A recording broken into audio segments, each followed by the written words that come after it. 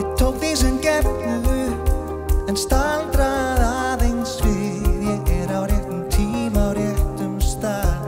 Hverjum get ég þakka fyrir það? Ég opnaði augun og hjarta